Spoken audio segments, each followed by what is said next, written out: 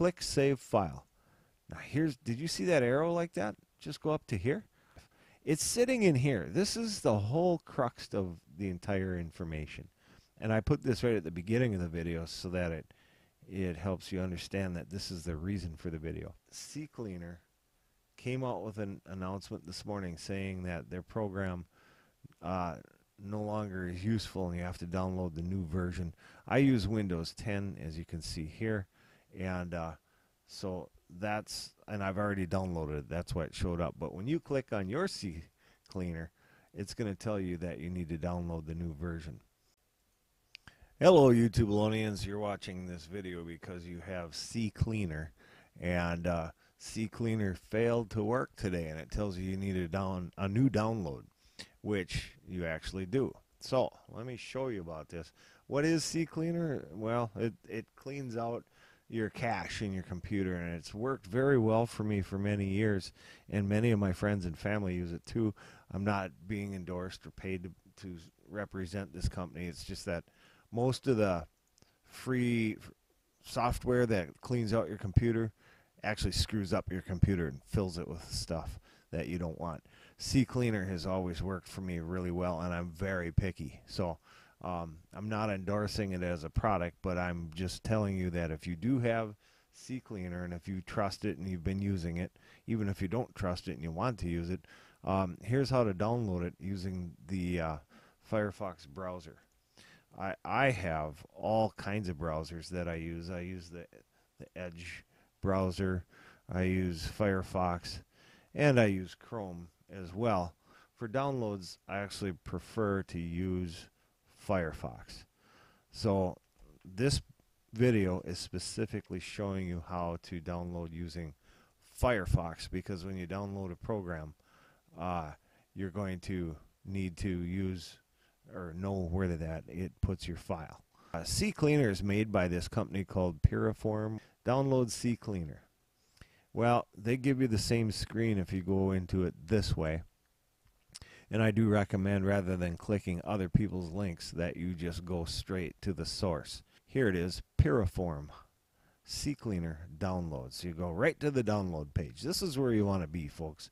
And uh, this is the address. So be super careful and make sure you get into this Piriform website. It should look exactly like this, and it should be exactly this address.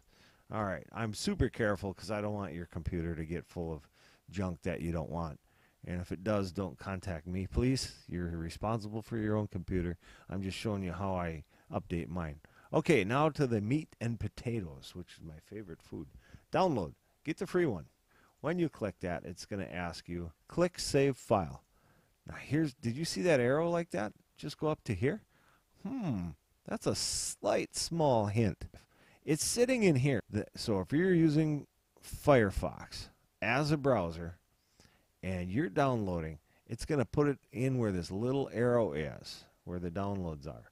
Now, if that doesn't show up, if you don't see the little arrow next to here, then right click on this taskbar up here and check menu bar and check bookmarks toolbar. I'm going to shut that off. So this is where you want to be. You don't need bookmarks. You need menu bar. It's kind of like talking about the lunchroom. You go to your menu. Open that up. Click it once. There it is. It's sitting in your downloads. So if you lost it there, you can find it in your downloads file. You can show all downloads, which um, you don't need to because you just downloaded this one. It's sitting there waiting for you. Click on it. So when you click that to install, you get the next option and you click to install. And that's it. That's all you have to do. Once you install it, it takes a little while. It puts itself into your computer and it'll open up and be ready to go. I've already installed it, so I'm not going to do that. You can also customize and uh, let it add to the desktops. Obviously, you want that, so you see it on your desktop. And uh, like mine, I put that out here. I run this at least once a day or twice a day. Uh, it does wipe out your passwords, so make sure you have them written down before you ever use it. That's very important. Because if you wipe out your passwords and you don't have them written down, you're screwed. You'll have to contact each place and get your password restored. Not a smart thing. By the way, don't type up your passwords and keep it in your computer. It's very easy for hackers to find that file. Even if you name it my favorite dog or something obscure like that, they'll find it because they can also search the text.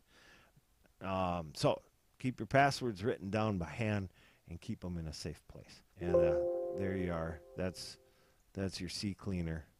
And once it opens up, you run your cleaner, and your computer will be working as fast as it should be after it's done. I just ran mine, so it's gonna. Yeah, and it says you need to close browsers and things. Of course, you would put yes because it needs to close those browsers in order to run effectively. All right, there you have it, people of the universe. You now can clean out your computer. Make sure, instead of analyze, make sure to run cleaner. I run mine at least two or four times in a row because it misses a few things because files are open. I run it until you get one file left, temporary file, which is what it just did. So if you like this video, thumbs up.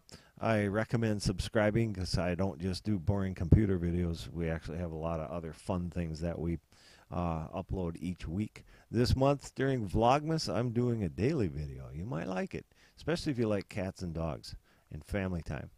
Thanks for watching. Pass this on to your friends. If this was helpful to you, pass it along through social media, and I'd be ever so appreciative. Make sure to make comments below if, if things don't work so that others can learn from you. Thank you.